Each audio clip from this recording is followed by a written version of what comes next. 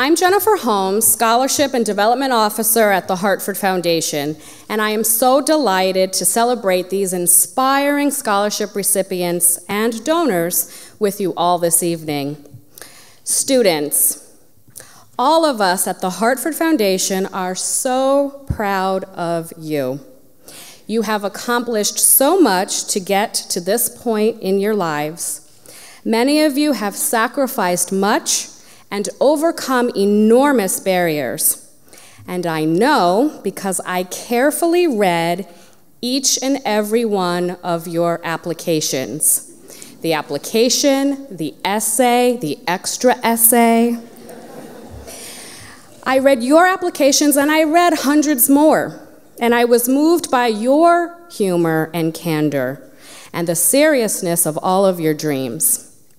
Like you, the donors who have established scholarship funds come from many walks of life. Some have gone on, and some are actually present with us tonight. They have shared one vision.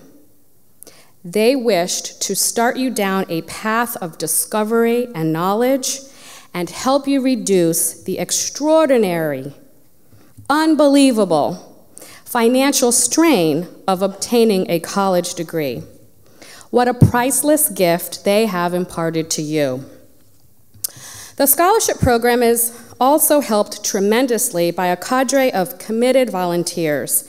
This year we had 35 wonderful supporters for the foundation who dedicated their time by reading applications, going to different high schools in our region to interview students, and helped us make very difficult decisions. We are very deeply grateful to each and every one of them. Let's give them a round of applause.